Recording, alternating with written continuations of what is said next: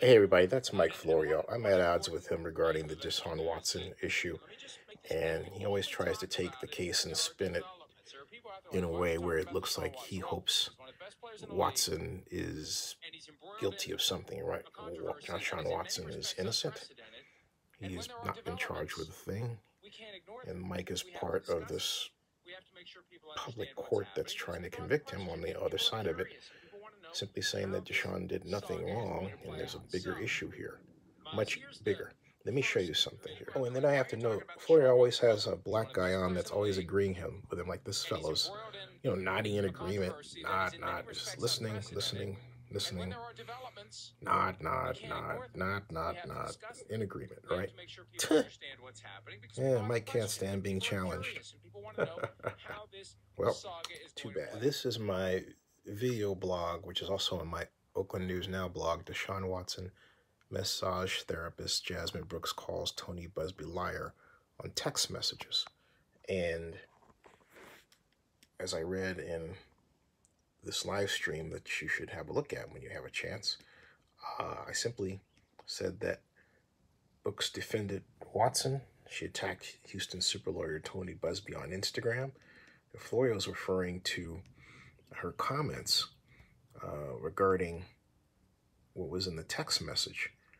And I simply believe she said she does not know any of the victims personally, nor was the correspondence a shared conversation between a victim and myself. That's notable. And Florio did not mention that. I am unsure how my text got to a friend got taken out of context, sent around, and used for this situation. Buzbee is playing a very dirty game and manipulating words in favor of his clients. That's something that Mike Florio fails to note, okay, in um, in his post, okay. But, all right, that's what she, that's what Florio fails to note and there are people who try to trick her and saying, well, this is yours and everything here is yours. And they use the words against her when her words are quite clear. These are what she wrote and I read on my show. All right. But there is a much bigger, bigger problem. And, and I know she says he's always been professional. And the problem is this right here. Estimating demand for illicit massages businesses in Houston, Texas. Vanessa Bouche and Sean M. Crotty from the Department of Political Science of Texas Christian. This is in 2017. It reads as follows Illicit massage businesses are growing in number across the United States, yet they remain an understudied niche of the underground commercial sex economy despite implications for public health and criminal justice. This research fills an empty gap in our understanding of illicit massage businesses by estimating actual demand for these businesses in one U.S. city, Houston, Texas.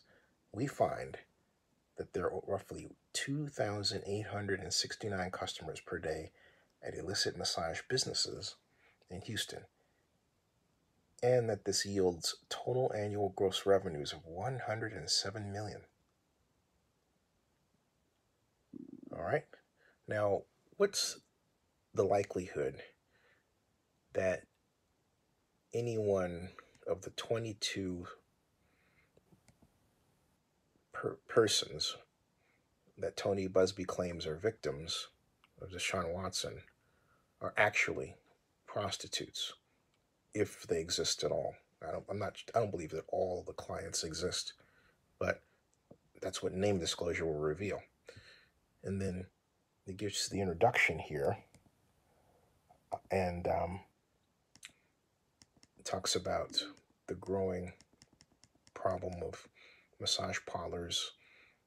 And then it reads uh, another recent study estimated the volume of demand specifically for online prostitution across U.S. cities. Okay. Um, however, the study is limited in that it measures only the intent to purchase sex, not whether or not the transaction actually took place. All right. What's the point of this that I'm coming to? The point that I'm making is that if it is the case that the women who are ostensibly accusing Deshaun Watson of non consensual sex turn out to be operating prostitution operations within their massage therapy businesses, then first of all, it means that Watson's sex was consensual and that if they asked him to sign an NDA or an NDA was signed, that they knew that what they were doing was not legal. And they could very well have been coercing him into an illegal activity and then lying about it. Okay? That's what Mike Florio misses. This is specific to Houston, Texas. This section of the study explains why Houston was selected. It reads In order to do this, we selected Houston, Texas as our case study. Houston is thought to be a major center of sex trafficking. According to statistics from the National Human Trafficking Hotline, 340 victims of sex trafficking were identified in Houston via the hotline in 2016 alone. And the plurality of these victims were working in commercial brothels which included illegal massage businesses. National Human Trafficking Hotline. There are several potential reasons for the large number of sex trafficking victims in Houston. And talks about local geoeconomic conditions and making it Houston vulnerable to sex trafficking and the area is characterized by a close proximity to the border, for example. And it discusses that the Houston area supports a variety of research facilities, diplomatic corps, and international businesses. Houston's geography, economy, and diversity all contribute to sex trafficking. Finally, the study determined there were 292 IMBs or illegal massage businesses in Houston in their study. And this was in 2017. All right. And then they went on to estimate the total demand for those, which is how they came to the economic count number that I mentioned earlier 292.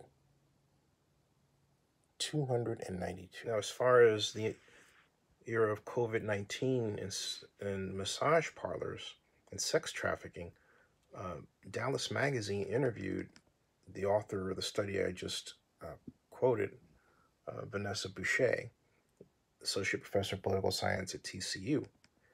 And she says that as far as the impact of COVID, first of all, for the illegal massage businesses, they're all completely shut down because the state has said that massage businesses, whether illicit or not, can't operate. Now, that being said, there's been some analysis looking at the survivability of the illicit massage businesses after the coronavirus because they're losing so much money right now. And then the question becomes what is the workaround that they're finding? And apparently, some of them, instead of being street level massage businesses with neon signs, they moved to apartment complexes or private residences, not in a place where it'd be evident to law enforcement that they're still operating. And this specifically applies to the situation that Deshaun Watson finds himself in and this activity. And so my argument is that when he when Rusty Hardin says that Watson was engaging in consensual sex, he was. He was doing so with a person who just may very well be operating an illicit massage business and from the study that Ms. Bouche has written and what her current comments point to, uh, that seems to be the case. Subscribe to Zennie62 and bookmark oaklandnewsnow.com.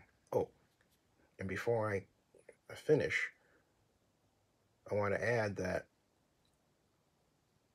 if it is true that Watson was doing that, and not understanding this business, and the Texans were supplying him with equipment and tables.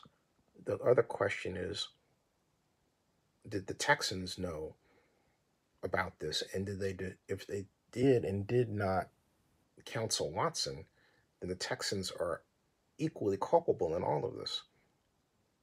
Okay? So this is not something that's clean and and um, and neat. This is very messy, very messy. Mike Florio should be careful how he talks about this.